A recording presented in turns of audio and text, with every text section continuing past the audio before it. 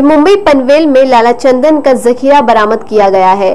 कुल मिलाकर 10 टन लाल चंदन की लकड़ी का जखीरा बरामद किया गया है, जिसकी कीमत भारत में 1.5 सीआर है और विदेश में इसकी कीमत 3 करोड़ रुपए के आसपास बताई जा रही है।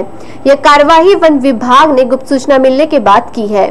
इस चंदन के जखीरों को विदेश भेजा जाना था, जिसे बड़े ही चलाकी के साथ नारियल के नीचे छुपाकर नवी मुंबई तक पहुँचाया गया था। वन विभाग की कार्यवाही में चंदन और वाहन को जब्त किए हैं। साथ ही वाहन चालक और क्लीनर को गिरफ़्तार कर लिया गया है। हम आपको बताना चाहेंगे कि इसमें पहले भी वन विभाग, कस्टम और क्राइम ब्रांच ने करोड़ों के चंदन जब्त किए हैं, लेकिन क्यों वह तस्कर पकड़ में नहीं आता? यह एक अहम सवाल है, जो सोचने पर मजबूर कर देती है। इस बार जो है सो ये नारियल के जो बोरी आती है, नारियल के बोरी पीछे रखी और सामने रखी और ऊपर से कुछ रखी और बीच में जो है सो पूरे लकड़ी उन्होंने लोड किया उसमें। सर, ये जानना चाहेंगे, पकड़े गए आरोपी कहाँ के हैं और इनको किस पार्टी को माल करना था? अभी तो ये तो चेन्नई के हैं और अभी इसकी तहकीकात हो जाएगी क्योंकि इनको अभी प्रोड्यूस करेंगे हम कोर्ट में और लोकल अपने कोर्ट में प्रोड्यूस करने के बाद में इनका रिमांड हम मांगेंगे। जैसे रिमांड मिलेगा, इसकी तहकीकात आगे बढ़ेगी हमारी और इसके पहले भी हमने जो है सो चार ऑफेंसेस पकड़े हैं, चार एक पुलिस के साथ मिलके भी पकड़ा है क्राइम ब्रांच के साथ पनवेल में।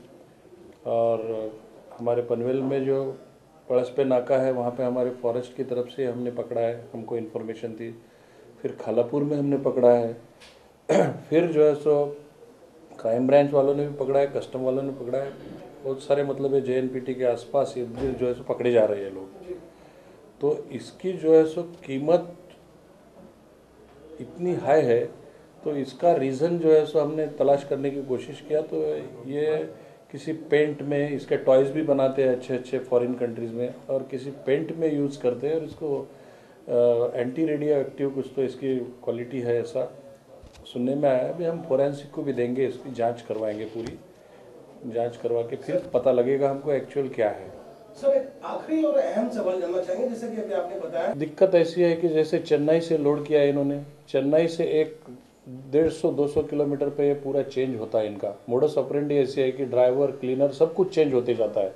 फिर उसके आगे जो लाएँगे, महाराष्ट्र में क्रॉस करके आए, सोलापुर में अलग बदल जाएँगे। सोलापुर से पुनः आए पुनः से बदल जाएँगे इनके ड्राइवर और कंडक्टर तो इनको पता ही नहीं चलता, इनको एक एक दूसरे को हैंड करते चलते हैं और उनको बताया जाता है कि ये ढाबे पे या एक ऐसा कोई भी प्लेस रहता है कॉन्स्पिक्यूस तो उस जगह पे रुकने के लिए इनको कहा जाता है।